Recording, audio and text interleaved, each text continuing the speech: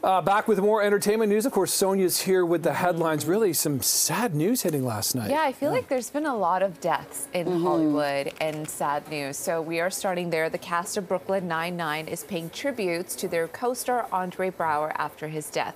Braugher's publicist says the 61-year-old who played Captain Raymond Holt in the police comedy for eight years died after a short illness.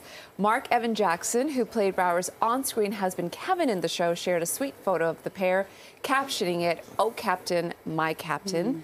Terry Crews, who played Terry Jeffords on the show, shared some sweet words on Instagram saying, I'm honored to have known you, laughed with you, worked with you, and shared eight glorious years watching your irreplaceable talent.